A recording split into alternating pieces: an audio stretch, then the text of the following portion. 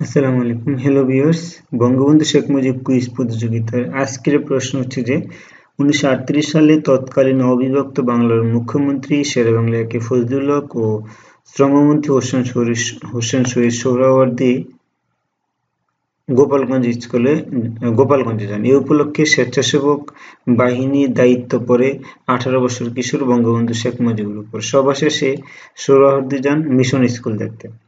স্কুলের ছাত্রদের পক্ষে তাকে সংবর্ধনা দেন শেখ মুজিব। স্কুল পরিদর্শন শেষে সোহরাওয়ার্দী যখন ফিরছিলেন, তখন হাঁটতে হাঁটতে তার সঙ্গে লরেন্সগঞ্জ পর্যন্ত এগিয়ে যান শেখ মুজিব। এ সময় তাদের মধ্যে পরিচয় হয়।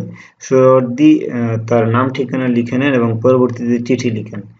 মিশন স্কুল পরিদর্শনের সময় শেখ মুজিব কোন সমস্যার কথা সোহরাওয়ার্দীকে জানান?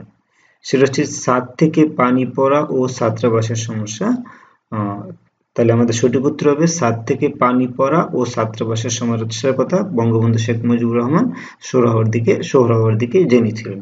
সেদিন সোহরাওয়ার্দী যখন মিশন স্কুল যাচ্ছিলেন, বঙ্গবন্ধু মাঝে পথ আটকে যান তার অন্য ছাত্রদের নিয়ে সোহরাওয়ার্দী পথ আটকে দেন এবং তখন সোহরাওয়ার্দী জিজ্ঞেস করেন যে, কি চাও তোমরা?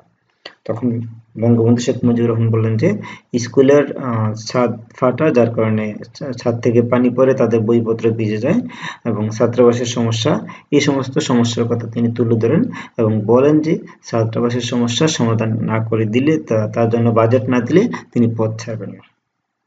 তা আমাদের সঠিক উত্তর হচ্ছে ছাদ থেকে পানি পড়া এবং ছাত্রাবাসের সমস্যা। তো আজকে এই পর্যন্ত আমাদের পরবর্তী ভিডিও দেখে আমন্ত্রণ জানিয়ে এখানে শেষ করছি। ধন্যবাদ সবাইকে। আসসালামু আলাইকুম।